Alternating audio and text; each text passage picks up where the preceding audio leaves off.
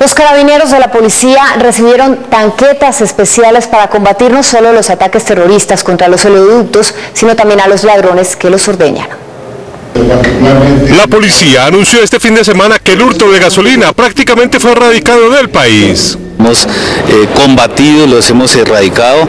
Después de 7.260 barriles, hoy estamos en menos de 84 barriles de, de pérdidas. Por la reducción mensual que lograron los equipos especializados de la policía en la lucha contra los carteles de la gasolina, Ecopetrol le donó a ese organismo un escuadrón de vehículos blindados que patrullarán los departamentos de Valle, Nariño y Putumayo enfocar los esfuerzos ahora para el sur del país en lo que tiene que ver con crudos. Eh, estos vehículos pues es, parte de nueva infraestructura y de nuevos equipos que se adquieren con el fin de fortalecer nuestras operaciones en distintas regiones del país. Los nuevos vehículos, dos de los cuales fueron entregados este fin de semana son anfibios, totalmente blindados, resisten disparos que superan los 7.65 milímetros, tienen capacidad de transportar escuadras completas de 10 integrantes de equipos especializados y pueden soportar incluso cilindros bomba y otras armas no convencionales que manejan los grupos delincuenciales.